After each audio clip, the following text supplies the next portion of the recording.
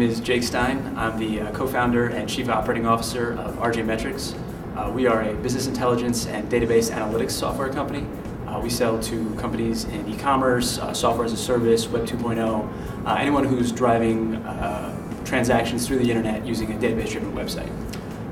the company started out with myself and my co-founder Bob. We were colleagues at a venture capital and private equity firm in New York called Insight Venture Partners and uh, that firm invested in growth stage software and internet companies. Uh, a lot of companies like the, the customers that we have now. I think there's there's actually a few lessons that you know I, I take out of my experience there and, and transitioning uh, to what I'm doing now. Uh, first of all, is how great, at least in my experience, it is to start a business that scratches your own itch. Uh, so we faced a problem, but we were doing the same analysis over and over again. So what we knew before starting the company is there is at least one company in the world that needs this and is paying in terms of people's time to accomplish this. So whenever you have an idea for a business, it's always like, well, I'd probably use it. Maybe my friends say they'd use it. My mom says it's a great idea. But unless you actually know firsthand that someone is spending money to solve this problem and you thought of a better way to solve it, it's kind of a great way to just eliminate a little bit of risk. And then also you're in a great position to decide, well, I want to solve this problem do I solve it this way? Do I solve it that way? I mean, there's a million decisions all along the way. So kind of putting yourself in the shoes of where you were, you know, six months ago or a year ago is very helpful for kind of making those sorts of decisions.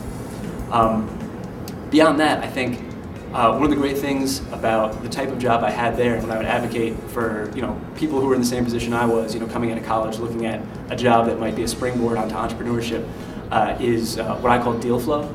So at the, the venture firm that I worked at, um, we looked at, you know, I personally talked to hundreds of companies a year, and the firm looked at tens of thousands of companies every year. Um, and just by virtue of that number, even if, um, you know, I wasn't doing my job well, you couldn't kind of help but notice, well, it seems like all the companies, you know, that are, you know, being really careful about money or driving their, uh, driving their, the operation of their business by metrics, uh, or doing, you know, certain other sets of things, they seem to be doing well. And other companies seem to be just kind of uh, making a lot of noise but not really producing.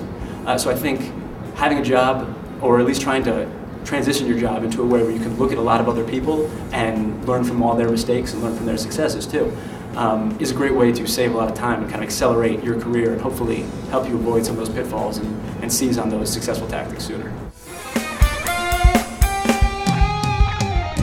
I'd say probably the biggest thing that's positively impacted our, our revenue and sales has been just kind of our business model, which is uh, monthly subscription fees with no implementation fee, no long-term commitment. Uh, I think we're, we're, far from the first to realize that kind of software as a service and subscription uh, is a little bit easier to sell than kind of a big upfront fee. That makes everything easier because it's constantly revenue coming in the door. It can you know, fund our hiring new people, it can fund our marketing, pays our rent, uh, all, all, sorts of nice things come out of that. Um, probably the other most important thing we've found in terms of customer acquisition is just going absolutely nuts doing everything we can making our customers happy. Um, we have actually not lost a customer yet because you know there's one of our customers who's kind of winding down their business, so that, that will be the, the first one that we lose. Um, but everyone else, and I'm constantly asking them, you know, are you happy? Is there anything else you need? Uh, not that we want to be kind of an outsourced service provider because that's that's not our business model, uh, but providing a very high level of service is something that I think is extremely important, both in terms of our customer retention uh, but you know, we've spent under thousand dollars on marketing so far, and we have maybe 15 customers call it. Um, almost all of them have been through referrals, through our network, through our customers saying great things about us to the people that they know in their networks. Um, and I think that's a big part of what we're going to do going forward. And uh, I think it's a very important part of kind of our strategy and, and what's enabled us to, to sign up new customers. Probably the most important thing that I just kind of ask myself whenever I find myself drifting off is like, is this the best possible thing I could be doing right now? Um, and that takes different forms. Like, you know, if there's a, a, customer that I'm about to sell, obviously following up with them is probably the highest, highest ROI uh, action for me to take. Or if it's fixing something that's broken for a customer, if they found a bug or they want a new feature or something like that. Um, but it's, it's iterating. It's just kind of deciding, this is how I spent this last week. Was that time really, really that valuable? um, and just kind of looking at it and trying to do a better job from week to week. Uh, and you know, sometimes I don't do a great job, uh, but I think by and large, I'm pretty happy with, with the way that we spend our time. Um, and I think it's also one other thing that I, I, worry about is just it's very easy to, you know, think uh, this is a startup. We have to really go to town and let's work 100 hours a week. Um, but I think the quality of the output is something that is a lot more important to focus on. And I think I tend to look at inputs in terms of well, you have to work really hard, you have to spend a lot of time, you have to really throw yourself into it. But at the end of the day, um, you know, all that really matters is the outputs and if you're being effective with the time that you do put in. I think the, the important things are to figure out what your priorities are and then actually prioritize them.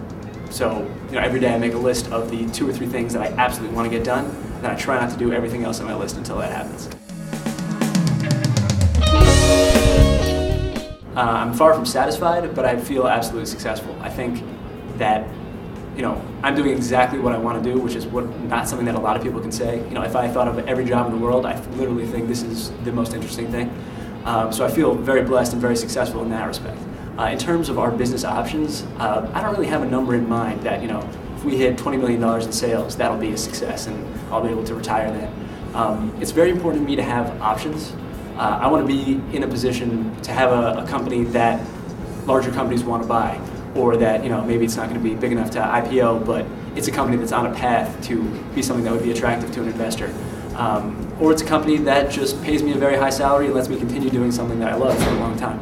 Um, I don't have as much of a like one fixed goal. You know, I want to become rich. I want to be, uh, you know, I want to have a, a fantastic company with lots of happy customers and lots of employees who you know are, are happy with their jobs. Um, but there's not like a I don't have numbers specific numbers in my mind that once we do that I'll be successful. Because also I don't really want to ever hit a point where I think all right what do I do now? You know if I'm if I'm still enjoying it things are getting better and I'm making a positive impact I don't really see a, a reason to, to stop that. I'm a huge fan of Warren Buffett. Uh, and I think a lot of the ways that he thinks about businesses are applicable to any business, whether it's in technology or you know railroads or anything like that. Uh, so thinking about what is going to make our business have a more durable competitive advantage uh, in terms of uh, competition and in terms of retaining our customers. I think things, if you think about things that way, a lot of times it makes explanations simpler. So if you think about taking some shortcut that may be going to make us more money today, uh, you know, if you're long-term greedy, which is an expression he likes to say, uh, you know, what is going to, if this is, if this business is the only business you could own for the next hundred years, and your, your kids were going to inherit it, and their kids were going to inherit it from you, uh, what would you do? And I think that makes a lot of decisions a lot easier, because any shortcut you're going to take, if it's the hard way, if it's something that, you know, maybe it'll, you know, give you a quick pop, but maybe it'll, it'll be better in the long term, it just makes things a lot easier. And also makes you think, you know, what, what are my priorities here? You know, is this going to mess up my work-life balance? Is this going to, you know, potentially piss off some of our customers and make the other ones happier? Like, if you have a clear thing that you optimize for, I think uh, I think it makes a lot of decisions easier. Before I actually went to go work at a, a VC firm, I would have guessed that you know every interesting technology company is located in Silicon Valley. Uh, I, you know, I think that's the popular perception from a lot of people. Uh, and one of the things that I learned, having talked to tons of technology companies all around the country and the world, is that some of the most interesting ones are not located in the, you know, the very buzz-heavy areas. Uh, and are maybe not the most well known, but they're doing a great job doing what they're doing. They're maybe more business focused than consumer focused, uh, and you know they're located in Omaha, Nebraska, but they you know do a great job. Their customers love them, and they make tons of money. Um, so I think that gave me a little bit more understanding about maybe not going to a place that was as well known as a technology hub. I think since I moved to, to Philadelphia, I've been really impressed with the community here, the support from things like the PSL and the other groups, uh, and just kind of the it's like it's like a nice medium. Uh, whereas I feel like in uh, maybe New York and other places, it's it's kind of hard to be noticed. It's kind of hard to um, you know, get a feeling for the rest of the people in the community. Whereas now, you know, I go to a, PSL event, I know, you know, half the people there. Uh, people are constantly, you know, if I read a blog post, someone will send me emails. Oh, I just had that same problem. Uh, here's maybe, you know, something that you can think about. This is how we solved it, at least. Uh, or you know, things like that, where it's a lot more personal. Uh, and you know, there's there's some great investors in the area who've uh, uh, people like Josh Kopelman at First Round Capital or Colin Evans have made us introductions to their portfolio companies that are now customers of ours. Uh, so it's it's a great community, and I think it's our company is better because of it, uh, because because we're located here and not in a place where uh, you know there's as much of an echo chamber where people who are constantly doing the same thing and constantly reinforcing each other that your ideas are the same as my ideas, so they must be great. Here it's a little bit more free thinking, and you can um, kind of go your own path in an easier way.